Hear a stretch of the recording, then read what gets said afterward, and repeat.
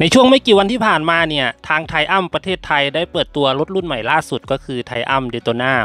660 ซึ่งเป็นรถแนว sport touring ที่ใช้เครื่องยนต์ 660 ของ Triumph ซึ่งเครื่องบล็อกนี้นะก่อนหน้านี้ก็จะมีอยู่ใน Trident 660 แล้วก็ Tiger Sport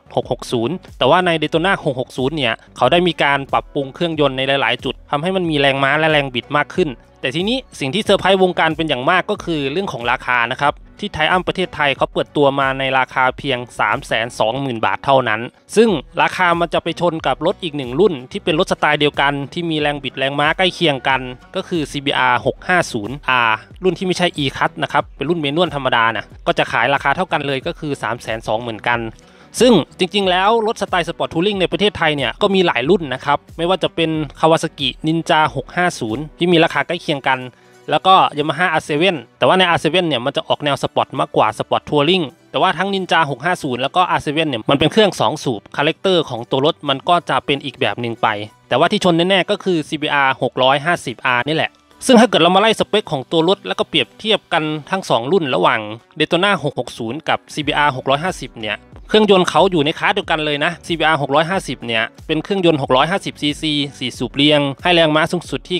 94 แรงม้าที่ 12,000 รอบ แล้วก็ให้แรงบิดสูงสุดที่ 93 นิวตันเมตร ที่ 9,500 รอบ ส่วนสเปคเครื่องยนต์ของไทอัมเดโตนา660 นั้นเป็นเครื่องยนต์ 3 สูบเรียง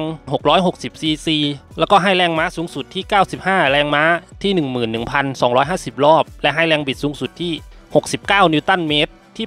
8,250 รอบ ซึ่งจริงอยู่ว่าแรงบิดและแรงม้าจะอยู่ใกล้เคียงกัน แต่ถ้าเกิดเพื่อนๆสังเกตดูเนี่ย เนื่องจากไทอัมเดตนา660 เนี่ย เขาเป็นเครื่องยนต์แบบ 3 สูบ แรงบิดและแรงม้า มันก็จะมาในรอบที่ต่ำกว่า ซึ่งเนี่ยก็คือข้อดีของเครื่อง 3 สูบแต่ถ้าเกิดเป็นเครื่อง 2 สูบอย่างตัว R7 เนี่ยแรงบิดและแรงม้าจะมาในรอบต้น แต่ว่าปลายอาจจะตื้อสู้ 4 สูบไม่ได้ แต่เหมือนว่าไทอัมเขาจะรู้ข้อดีของเครื่องยนต์ของเขา เขาก็เลยมาเปิดตลาดในกลุ่มนี้ เพื่อให้เป็นอีกหนึ่งทางเลือกสำหรับคนที่อยากจะได้ฟิลทั้ง 2 สูบและ 4 สูบ ซึ่งมิติแล้วก็รายละเอียดของตัวรถของ Daytona 660 กับ CBR 650 เนี่ย ใกล้เคียงกันมากนะครับ ไม่ว่าจะเป็นเรื่องของโช้คอัพด้านหน้าที่เป็นโช้คอัพหัวกลับ upside down ของ Showa ขนาดแกนโช้ค41มิลิเมตรเท่ากันเลย แล้วก็เป็น Showa เหมือนกันเลย ส่วนโช้คอัพด้านหลังก็เป็น Showa แบบเดียวกันที่ปรับสปริง preload ได้อย่างเดียวเหมือนกัน ส่วนระบบเบรกนั้นจานดิสเบรกหน้าเป็นจานดิสคู่เหมือนกัน ขนาดจานเท่ากันเลยนะครับ ก็คือ 310มิลิเมตรและตัวปั๊มก็จะเป็นปั๊มแบบ radial mount เหมือนกันด้วย ส่วนจานดิสเบรกหลังก็เป็นจานดิสเบรกเดี่ยวไซส์ 240มิลิเมตรเท่ากัน แล้วก็เป็นปั๊ม 1 ลูกสูบเหมือนกัน แต่ว่าปั๊มเบรกของ CBR 650 จะใช้ของ Nissin แต่ใน Daytona 660 เขาจะใช้แบรนด์ของตัวเองก็คือแบรนด์ของ Triumph ส่วนตัววงล้อก็เป็นขนาด 17 นิ้วเหมือนกัน ไซส์ยางก็จะมีขนาดเท่ากันเลย ก็คือ 120ทับ70สำหรับยางหน้า แล้วก็ 180ทับ55สำหรับยางหลัง ส่วนในเรื่องของน้ำหนักตัวนั้น ด้วยความที่ Triumph เป็นรถ 3 สูบ ก็จะเบากว่ารถ CBR 650 ก็คือ Daytona เนี่ย201กิโลกรัมแต่ใน CBR 650 นั้น 208กิโลกรัมส่วนความสูงบ่อนั้นเท่ากันเลยนะครับก็คือ 810มิลลิเมตรส่วนเลื่อนไม้ก็เป็น TFT เหมือนกันนะครับทั้ง CBR 650 แล้วก็ Daytona 660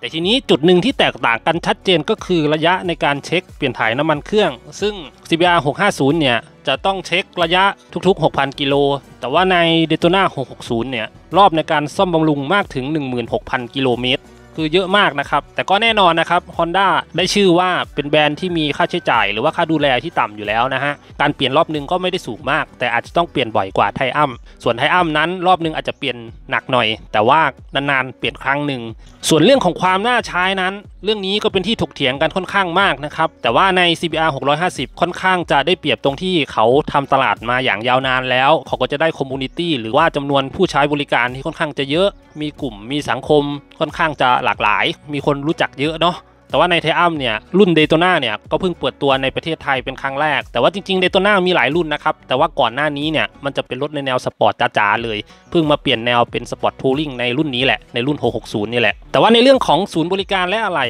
ทั้ง Honda และ Triumph ผลิตที่ประเทศไทยนะครับ ทั้ง 2 รุ่นเลยทั้ง CBR 650 แล้วก็ Daytona 660 เนี่ยผลิตที่ประเทศไทยเรา เพราะฉะนั้นในเรื่องของสต็อกอะไหล่ต่างๆเนี่ยไว้ใจได้นะครับ มีบริการให้ทั้ง 2 แบรนด์แน่นอนนะครับ ส่วนเรื่องของความน่าใช้นั้นจะเล่นคันไหนดี มันมีข้อดีข้อด้อยแตกต่างกันนะครับ คือ CBR เนี่ยมันจะได้กลุ่ม community หรือว่ากลุ่มผู้เล่นที่เยอะก็จะได้สังคมที่กว้าง มีเรื่องราวให้พูดคุยกันเยอะ แต่ถ้ามองอีกมุมหนึ่งก็คือคนใช้เยอะแล้วไง บางทีมันก็อาจจะแบบดูธรรมดาไปใช่ไหมสำหรับบางคนเขาอาจจะมองว่าเลือกไปเล่นรุ่นที่มีคนใช้น้อย ก็จะดูเท่ดูไม่เหมือนใครมากกว่า ก็ไปเลือกเล่น Triumph จะมองแบบนี้ก็ได้นะครับ แต่ว่าทั้งคู่เนี่ยเกรดของรถ 650 เนี่ยคุณภาพดีทั้งคู่นะครับค่อนข้างจะสมราคาด้วยนะ แล้วก็ถ้าเกิดเพื่อนๆไม่ได้ชอบรถแนวเนี้ยรถแนว sport touring เนี่ยรถรุ่นอื่นๆ ที่เป็นเครื่องโมเดลเดียวกันเนี่ยก็มีให้เลือกนะครับ อย่าง Triumph เองก็จะมี Trident 660 ที่ออกมาก่อนหน้านี้ ก็จะเป็นรถสไตล์ naked แล้วก็มีความกระทัดรัดเหมาะในการขี่ในเมืองเป็นอย่างมาก หรือว่าถ้าใครชอบเดินทางไกลก็จะมี Tiger Sport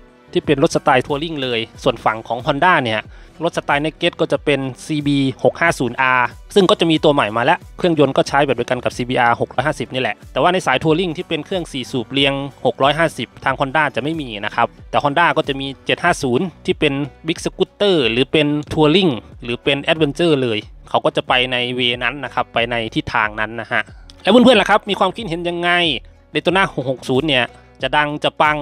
หรือว่าน่าใช้ไหม หรือว่ายังไงก็คอมเมนต์มาแสดงความคิดเห็นกันได้นะฮะ